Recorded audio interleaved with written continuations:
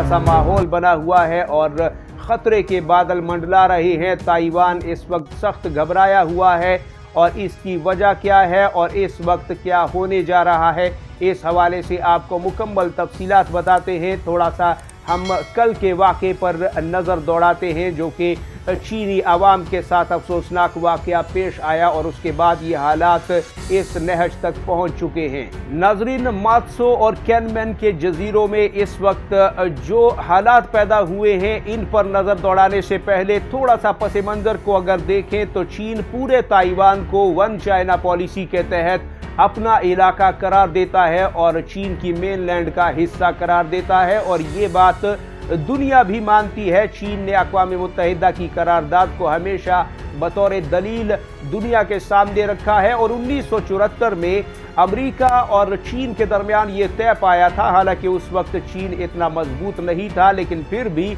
ये तय पाया था कि हम ताइवान को अपना हिस्सा तस्वूर करते हैं। दुनिया का कोई भी मुल्क ताइवान के साथ डायरेक्ट ना तो ताल्लुकात कायम करेगा, ना ही उसे एक अलहदा मुल्क तस्वूर किया जाएगा।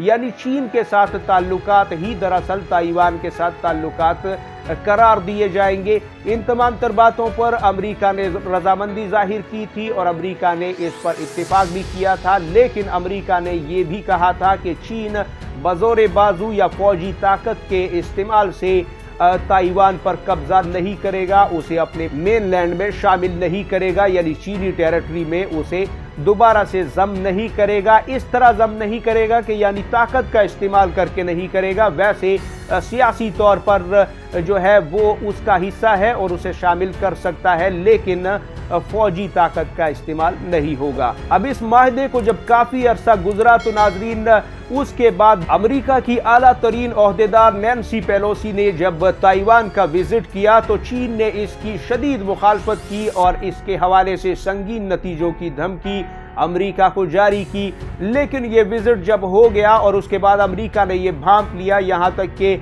सबका सदर जो थे अमेरिका के डोनाल्ड ट्रंप, उन्होंने ये पेशगोई भी कर दी कि 2024-25 तक अब चीन इसे बजोर बाजू हासिल करेगा ताइवान को और इसे फतह करेगा, क्योंकि अमेरिका ने वो काम किया है जो कि उसे नहीं करना चाहिए था। लेकिन इसके साथ इस डर और खौफ को सामने रखते हुए अमेरिका ने वहाँ पर एफ़ सोलह तैयारे भी उन्हें फराहम किए, दीगर हथियारों की भी बात हुई और इसके अलावा वहाँ पर अमरीकी बहरी बेड़ों के गश्त भी बढ़ा दिए गए, यानी साउथ चाइना के समंदर पर इस वक्त चीनी फौज का कंट्रोल है लेकिन उसके करीब जो दीगर ममालिक है, यानी यानी फिलिपाइन में भी जो एयरबेस है और फौजी अड्डा है, उसे भी काफ़ी अरसे के लिए अमेरिका ने ले लिया।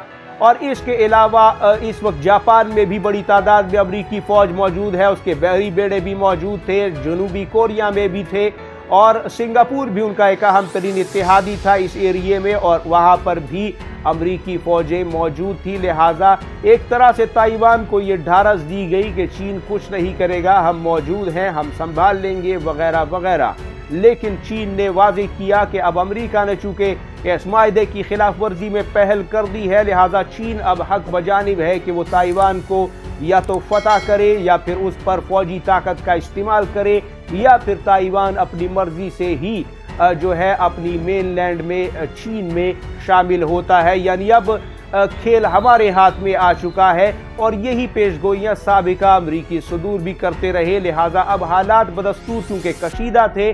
लेकिन अब मादसो और कैनन, जो जजीरे के करीबी समंदर हैं, चीनी आवाम की मौत हुई है, जिससे अब हालात मजीद बिगड़ गए हैं और चीनी आवाम बजाते खुद चीनी हुकूमत पर यह दबाव डाल रही है कि दुनिया की सबसे बड़ी चीनी फौज इस वक्त तमाशा कर रही है और हमारे शहरी हमारे ही समंदर में मार दिए गए हैं। यानी कि अगर आप ये दावा कर रहे हैं कि ताइवान हमारा है, उसके समंदर हमारे हैं तो फिर ये जो लोग मरे हैं, ये तो दरअसल अपने ही समंदरी हदूद में फिर थे। इस हिसाब से लिहाजा इनका मरना समझ में नहीं आता और चीनी फौज भी ज़बरदस्त तरीके से गजबनाक है और काफ़ी हलचल इस हवाले से नज़र आ रही है।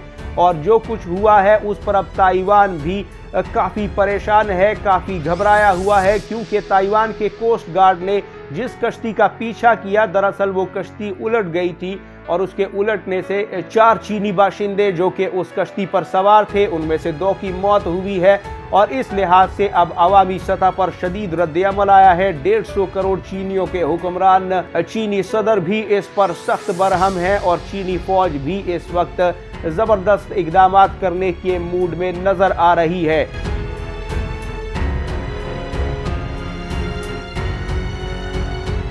और बदस्तूर इसी तरह से ताइवान न सिर्फ़ चीन का गुस्सा कम करने के लिए बयान दे रहा है, अपनी सफ़ाई दे रहा है, बल्कि आलमी सतह पर भी ये कह रहा है कि चीन अपनी ताकत का नाजायज़ फ़ायदा उठाने के लिए बहाने ढूंढ रहा है और हमने इन लोगों को नहीं मारा, बल्कि ये एक अफसोसनाक वाक़ है, ये एक एक्सीडेंट है। हमने इनका पीछा किया था और इस हवाले से हम जो है चीन को बारहा शिकायत भी दर्ज करवा चुके हैं कि यहाँ पर गैर कानूनी जो खुदाई होती है रेत की और यहाँ पर माहीगीरी के लिए भी गैर कानूनी तरीके इस्तेमाल होते हैं। बड़ी तादाद में चीनी आवाम के हाथों यहाँ पर हमारे जो हदूद हैं, उनकी खिलाफ वर्जियाँ भी होती हैं, कानून की खिलाफ वर्जियाँ होती है। इसके अलावा चीन भी अपनी बहरी फौजों और बहरी बेड़ों और जंगी जहाज़ों के हवाले से बार बार अपनी ताकत जो है वो ताइवान के इलाके में दिखाता है। उसे हिरासा करता है, उसे डराता है। लिहाजा ये शिकायत हम दुनिया में कई बार कर चुके हैं और आज भी चीन इसके लिए बहाने तलाश कर रहा है।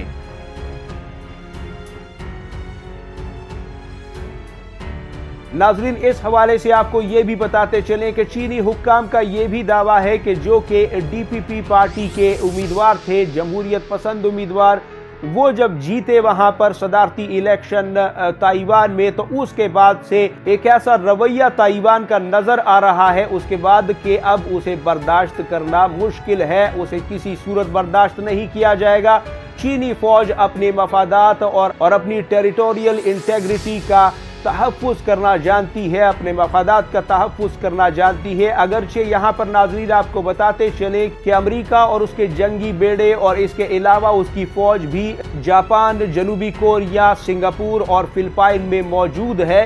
लेकिन यहाँ पर चीन के इतिहादी ममालिक की अफवाज भी गर्दिश कर रही हैं। इन संगीन हालात में वहाँ पे रूसी नेवी भी मौजूद है। शुमाली कोरिया और थाईलैंड भी चीन के खेमे में नज़र आ रहे हैं और इस वक्त चीनी आवाम जो है वो ज़बरदस्त दबाव डाल रही है अपनी हुकूमत पर और अपनी अफवाज पर, क्योंकि चीनी आवाम और हुकूमत के मुताबिक चीन के अभी इतने बुरे दिन नहीं आए कि दुनिया की सबसे बड़ी फौज रखने वाला चीन अपने ही शहरियों को अपने ही समंदर में मरता हुआ देखे और हाथ पर हाथ रखकर तमाशा करे।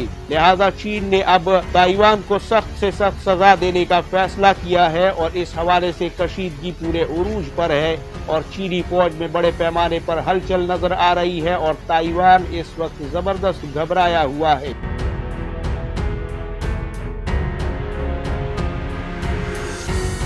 हम इस हवाले से नाजरीन, आपको लम्हा बलम्हा अपडेट करते रहेंगे। जिन दोस्तों ने हमारे चैनल को सब्सक्राइब नहीं किया, उनसे गुजारिश है हमारे चैनल को ज़रूर सब्सक्राइब करें, वीडियो को लाइक और शेयर करें। अपना और गिरदोनवा के लोगों का सबका ढेर सारा ख्याल रखिएगा। अल्लाह हाफिज